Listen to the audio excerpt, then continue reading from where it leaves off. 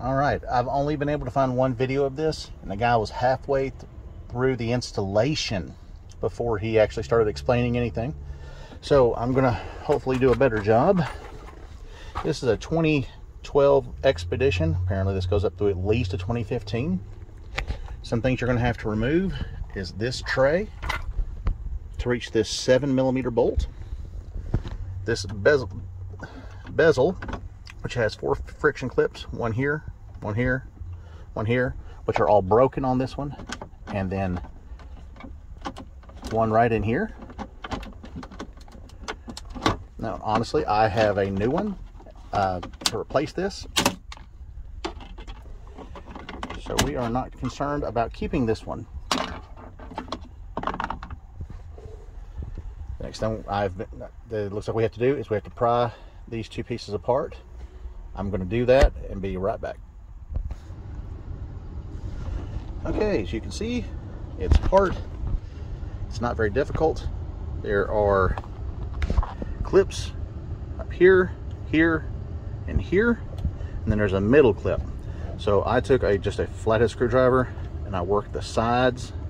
Once they came loose, I slid it underneath and a gentle pry and it popped loose and then this piece here can be pivoted out and it should pop loose. And that's the same on both sides. There's also a T20 Torx nut on each side. All right, this is going a whole lot faster than I figured. I know that you have to pry gently with some kind of flat edge along this side. And then I pulled the console a little bit to this towards the driver's side because it got a little loose. And then it comes out. As you can see, there's only one, two clips on each side. And that's going to be the rough locations back here on the corners and just ahead of the shifters. I got to see what's next. All right, looks like the next thing is you have four clips, one on each side back here, and one on each side of the front. This one appears to be the pain in the butt to get to. So we're gonna see, because the other two on the back have come loose. I know that if you have to pull this entire assembly out, there are four bolts, eight millimeter, that can come loose and I believe that actually allows the entire assembly to come up. I'm trying to avoid that. Okay, very important. Once you get these clips loose, and I did use a smaller Phillips head to get this one because there's not as much space here, is there is at least one to two electrical connections. You can see one here that goes into the console I'm guessing for the lights or to register where you're at. There's also one up here to this toe. If you have a manual switch up here, you're going to have three total connections. This should be a pretty easy clip to get loose, but because of space, I'm going to try it with a pick.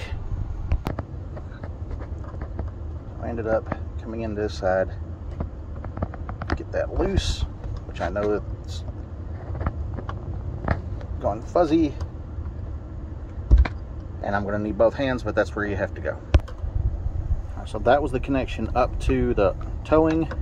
This one is gonna be a similar one down to the, the connection we saw on the back of this. Uh, once again, gonna need both hands.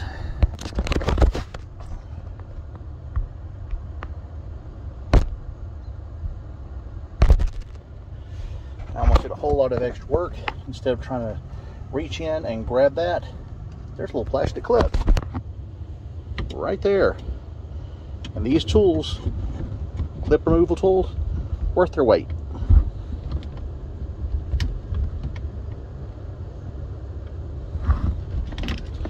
Just pry gently. When you actually pull that off get enough room to get in there and again, that is a small piece, so I used a pick.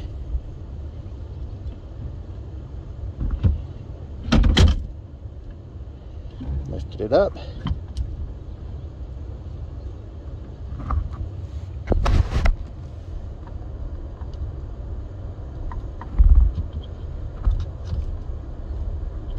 Now, that's the way the other one worked. this one's just a little, little tougher.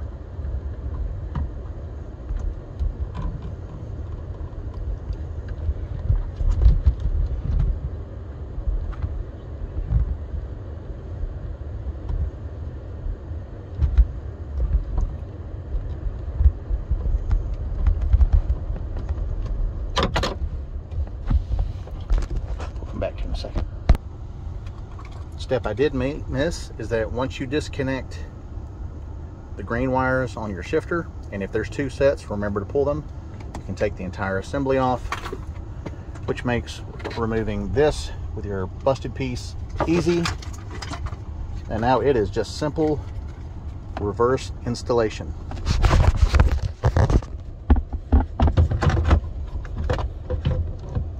slide it in because as you see it's got a tab. There's only one way to do it.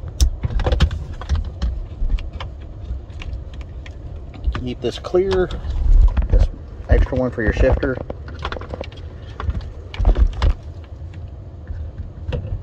I believe the smart thing here is going to be to move uh, reassemble it and then finagle that back in rather than trying to assemble it. Very important. This is the part number you're looking for.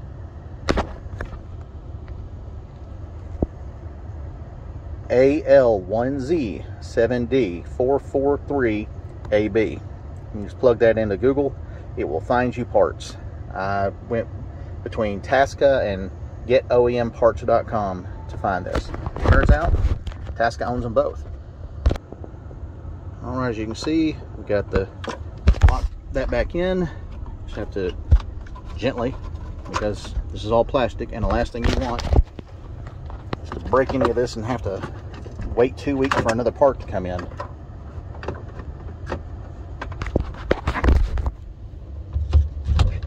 we're trying to line up the four clips.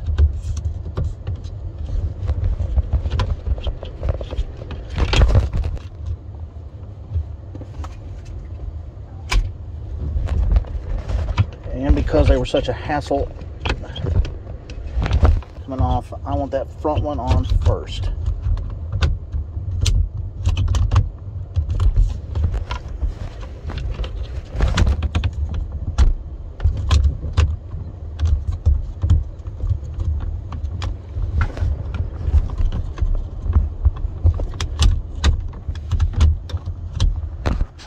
All right, we're almost there.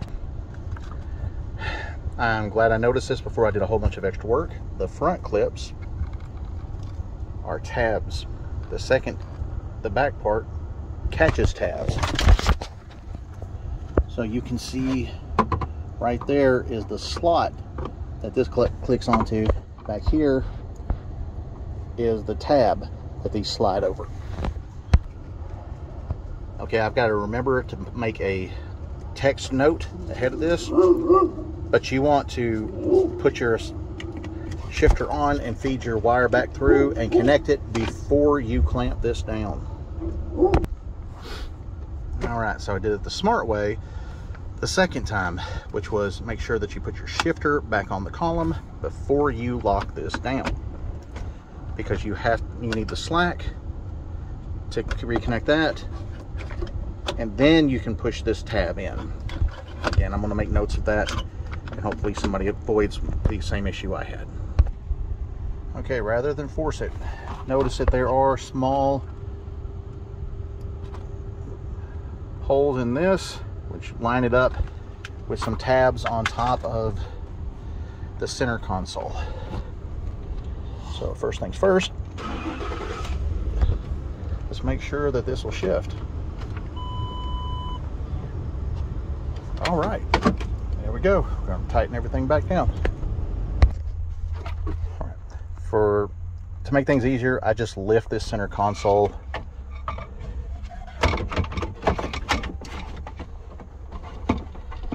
line up the tabs. I've already checked to make sure that the shifter works and the car will move. As you can tell, it doesn't take a whole lot of force to make that happen. And we have the center console with the seven millimeter. We got the two Torx T20s. You clip your pieces back together on the sides of the sides of this, and you put your bezel on. I did go with a new bezel.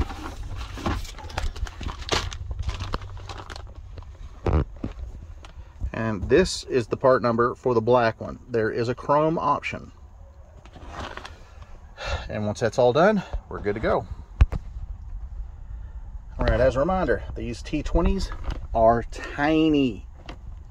You may be better off putting on your bezel first, which I did not do, but I got lucky. I was also extremely aware that I did not want to go fishing this stuff back out of the center console or trying to find a replacement in the junkyard. So as you can see, two on the front, these two in the center. They are friction, they're held with friction. So if you're trying to get them loose, the tabs are in the center. That's where all the friction is. So you would want to come in from the top and pry out as you lift. Again, since I put in a new one, I just broke the old one. I've already reconnected these you can see a couple of tabs, a couple of tab holes.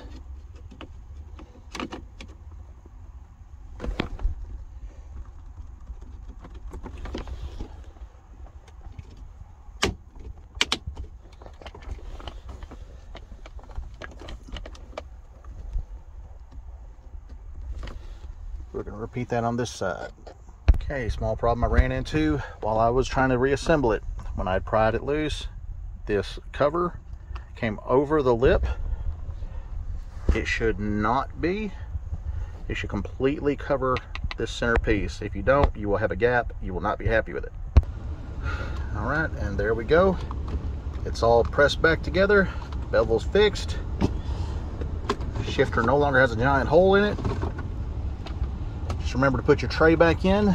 These inserts may come out, but there's only, if they come out, just slide them back in when you're done and that was a 2012 to a 2015 expedition replacing the shifter because replacing this piece is the only way to fix one of those is broken